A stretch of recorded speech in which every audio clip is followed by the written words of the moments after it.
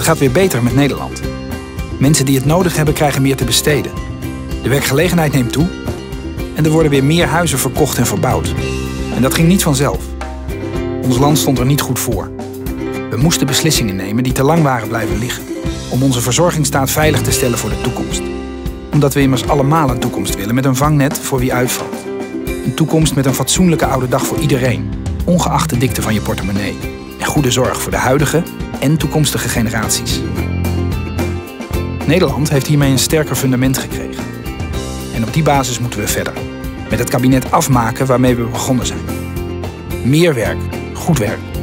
Want de zekerheid van een baan met een vast contract en een fatsoenlijk salaris is nog steeds niet voor iedereen weggelegd. Meer kansen. Want we kunnen het talent van onze jongeren en ouderen echt nog veel beter benutten. En een samenleving waarin we naast en niet tegenover elkaar staan. Want juist nu is het belangrijk dat er een partij in het kabinet zit die zich inzet voor verdraagzaamheid en zich verzet tegen uitsluiting van andersdenkenden en gelovigen. Daarom vragen wij uw stem. We willen niet terug naar de onzekerheid en instabiliteit van weleer. Laten we Nederland sterker en socialer blijven maken.